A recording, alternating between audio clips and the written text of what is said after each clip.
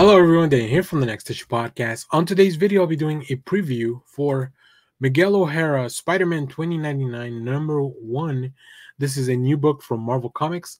Let's take a look at the creative team before we get into this book. This book is written by Steve Orlando with art by Devmaya Pranamic. Uh, apologies if I mispronounced that. Uh, colors by Raul Angulo, letters by Cory Petit, and a really cool cover by Nick Bradshaw. Uh, I knew the art looked very familiar. I just wasn't sure if it was Bradshaw until I got into until I dove deep into this. Uh, so I'm very excited. Uh, I like Steve Orlando. I like the creative team. Uh, as far as I, am not very familiar with the artist, uh, but other than that, I do like the what the creative team's been working on in the previous uh, in the previous months. and I'm also a big fan of Miguel O'Hara. He's my favorite Spider-Man. so let's see what's going on in this one. In this issue, beware Marvel Zombie 2099. Miguel O'Hara teams up with Blade 2099 to take on a new horrific threat to Nueva York.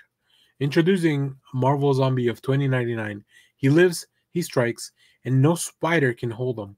Will Spider Man be able to stop this ever evolving zombie infection before it takes hold of his mother and the citizens of the barrio?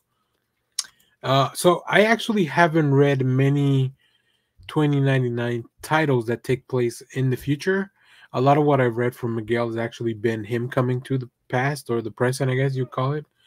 Uh, so I'm very interested in this. Uh, Steve Orlando's been doing a few things with the 2099 universe as well, uh, and I think introducing the Marvel Zombie Horde to this uh, to this timeline uh, can be a lot of fun.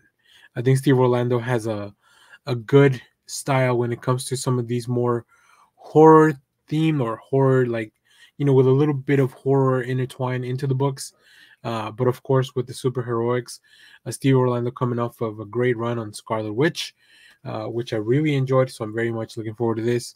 So let's take a look at some of the preview art so we can get introduced to uh, to the artist.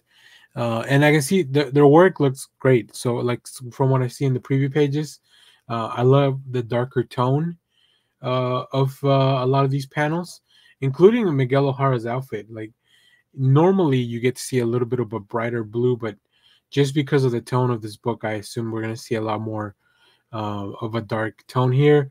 Of course, the introduction of this Marvel Zombie 2099, so that'll be really fun to follow around. And of course, working with Blade 2099 should be fun. I think that's a new character that's been introduced very recently as well. Uh, so that'll be fun to follow around as well. Uh, so yeah, I'm pretty excited for this one. There's a lot of number ones coming out this week for Marvel, so there's plenty of me to dive into. Uh, so stay tuned. We'll talk about more of this stuff in uh, either follow videos or maybe on our next live stream. Uh, so check that out, but let us know what you thought of these. If you have read them, as always, thank you for watching, everyone. Remember to share, like, subscribe, hit the bell so you know when we go live. That is most Saturdays, 10 a.m. Central Standard Time. Stay tuned. We have more comic reviews, trailer reactions, TV recaps, all that fun stuff here in the channel. Thanks for watching, everyone.